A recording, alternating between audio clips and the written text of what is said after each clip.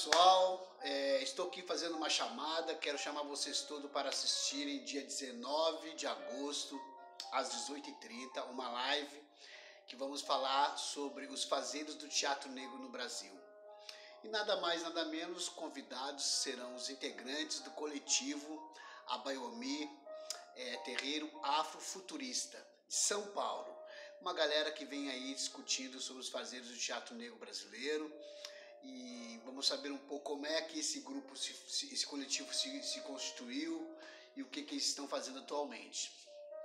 E a Companhia Dança Afro vem então desde dia 1 de agosto com uma atividade cultural muito firmada nas, nas, nas ferramentas virtuais.